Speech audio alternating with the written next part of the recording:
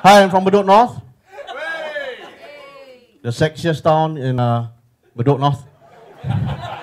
Uh, recently, I caused a commotion in Bedok, but it wasn't crime. I came out in uh, I came out in Chinese newspaper, Lianhe Zaobao. You see, when Malays go inside Chinese newspaper, it's always about sports or crime.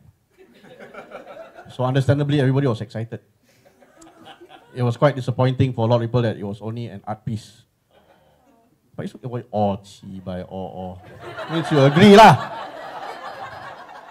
It's true. I, I mean, I've come to accept the racial stereotypes.